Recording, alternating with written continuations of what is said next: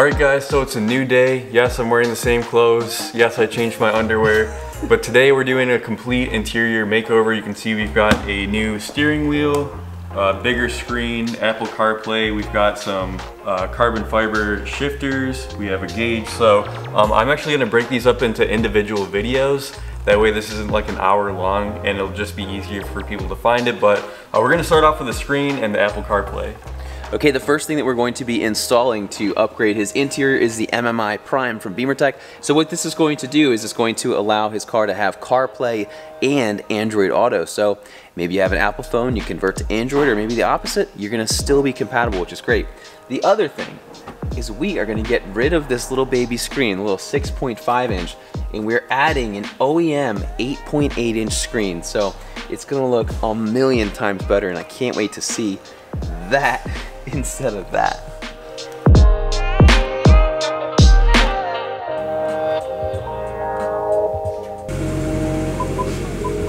First thing we're going to do, just lay down some microfibers to make sure everything is well protected.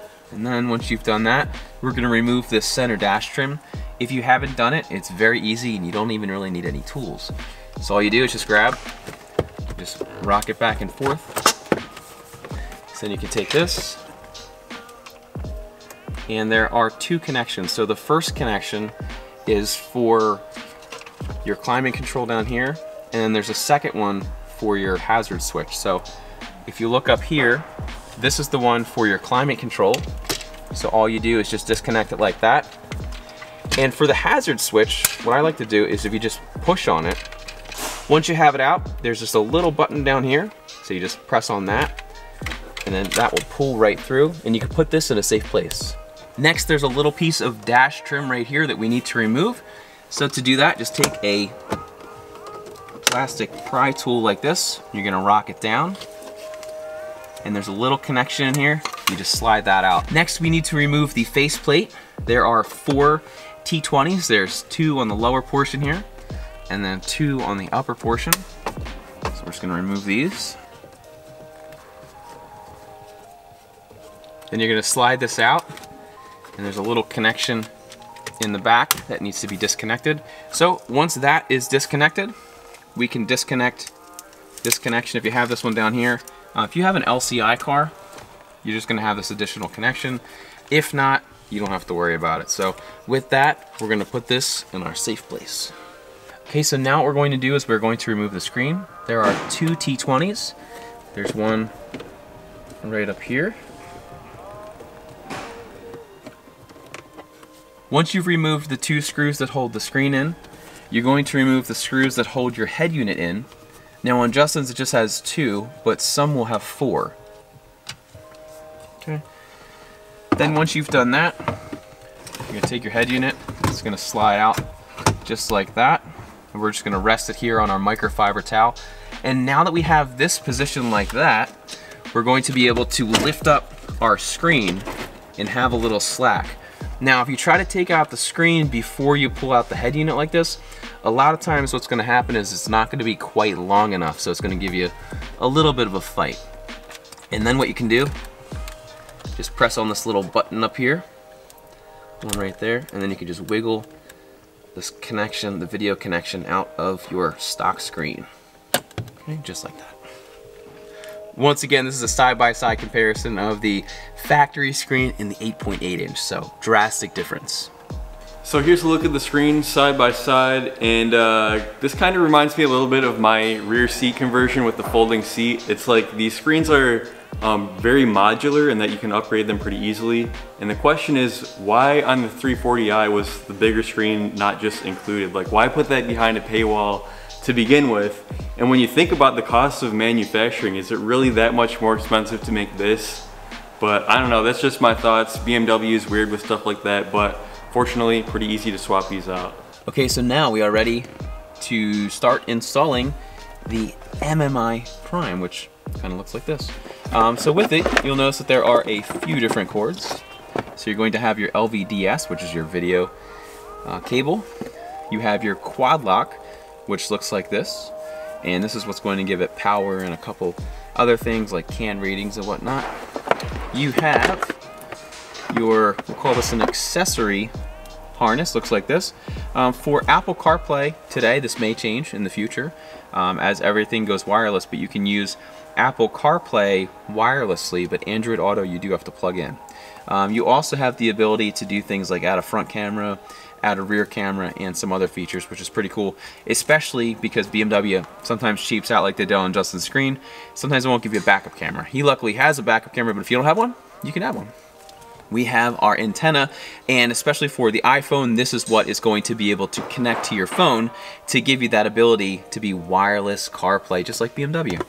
So with that I'm going to start with the quad lock which is this big one here and what we're going to do if you look on the back of the screen so first I'm going to pull out this video cable you just pull it straight down there's going to be a little lever so there's going to be a lock um, on the BMW OEM one you squeeze on the sides with the BimmerTech one, it's just this little clip right there. So you, you just pull up right there and then you're able to swing this down. Now the cool thing about it is when you go to unlock it, as you pull this lever, it's going to pull it out.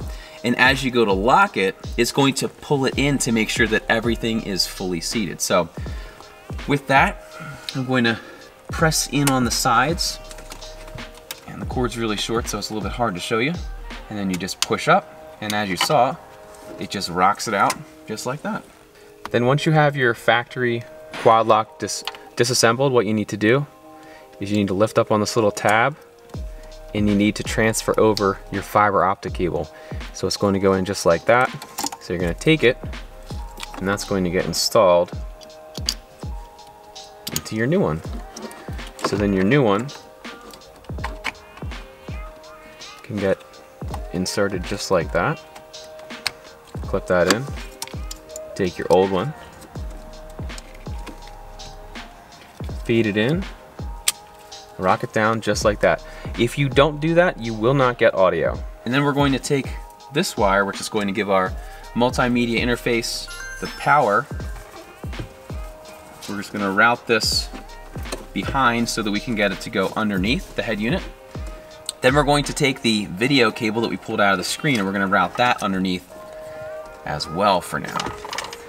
Then we're going to take our new video cable and we're going to route this side down. So you're going to start up here. You can just route it down. Go to the side of the vent. Just keep going down. We're going to take our, our new larger screen just gonna take this, press it into the back just like that. You're gonna wanna pull your cord as you do it. And this is gonna go like that. It's gonna sit down just like that. Once you've done all of that, you're gonna wanna push your quad lock down, that, that big block connector because it might get in the way. And you can take your head unit, slide it back in, and then we're going to reinstall the two screws that we removed from there.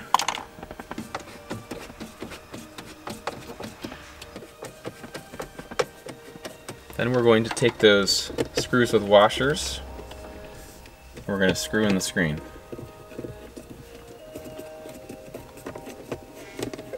Okay, so now you're going to take your accessory harness and you're going to take this little USB and you're going to feed it down so that it comes out right here. Now you can you can pretty much mount this wherever you want.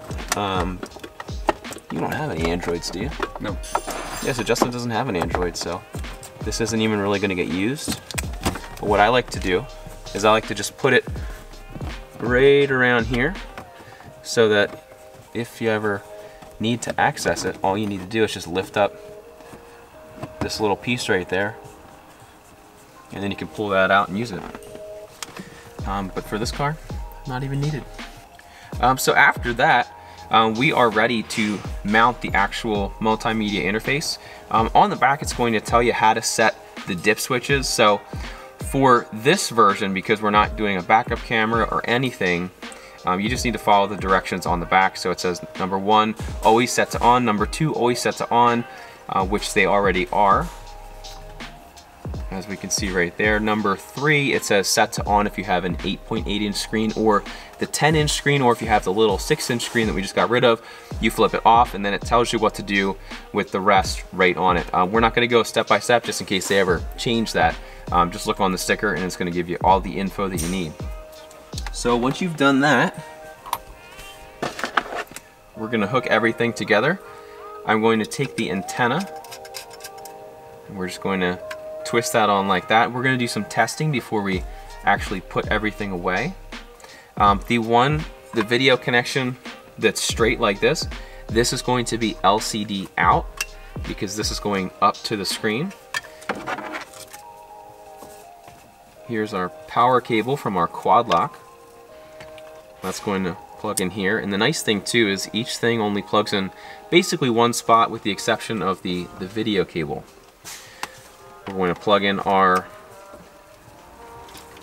accessory cable right over here.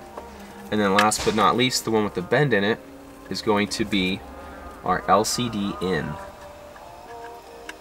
Okay, so plug it in just like that. So now what I'm gonna do is I'm just gonna sit this here for one second and we are going to test it out. Now, I haven't coded the screen yet, so that may need to get done before we actually do true testing, but we'll walk you through that process as well. Okay, so we are going to put the car in accessory mode. And as you can see, we've got nothing. so we need to do some coding first. So I'm going to do it with my V-Peak adapter. Just plug this in. Car in accessory mode. And I'm gonna open up BimmerCode.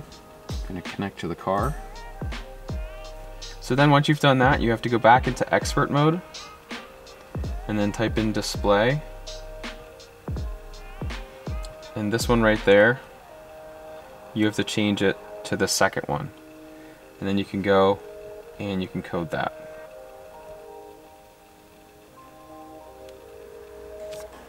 Alright, so we're going to turn off the ignition for a little while. Turn it on and we should have a picture. Alright, we let the car sit off for a little bit. Let's turn it on and see if it works.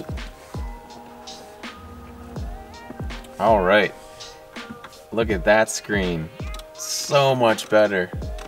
Alright, so as you can see, we have CarPlay fully installed with our coded 8.8 .8 inch screen and it looks so good. So now if you want to use Waze, you want to use your music or anything, it's all on the screen. so cool. And it makes this car look so much more modern. Not that it's an old car or anything, but that old that other screen just made it look just really bad. So this just completely transforms the interior of this car. Alright, so we just finished up with the screen upgrade as well as the CarPlay. It looks awesome. Big thanks to Bryan for hooking that up. We ran into a couple of small issues, but he's a great problem solver. We got it all worked out. So I'll probably do a full review of this thing eventually, just to like to show you how everything works and uh, the different functions. But this is just like the DIY installation. We're gonna wrap up this one and start the steering wheel. So I know that I've said in previous videos that I'm not much of an infotainment guy in the sense that the screen isn't going to prevent me from buying a car, but it is nice to be able to upgrade it in the aftermarket. It's nice that options like this exist. Uh, let's say that you found a really good deal on the car and it's not, you know, 100% what you were looking for. You do have the option to swap that out. They're pretty modular in that way. And uh, yeah, I'm just loving it so far. Um, it's seamlessly integrated into the car, meaning that you're still using the iDrive knob to control everything on there. Uh, the volume buttons on the steering wheel still work like they used to. You can still use the physical buttons on the radio to advance to the next song. So everything just works the way that you'd expect it to. And if you didn't know any better, you would think that it just came from the factory with that. So just a couple frequently asked questions that I know that people are going to ask. Yes, you can still switch back to the iDrive view. Let's say you want to check your tire pressure or reset your oil level. You can still do all of that stuff. Uh, you basically just hold the menu button for a couple seconds and it switches back to the iDrive, the standard iDrive view.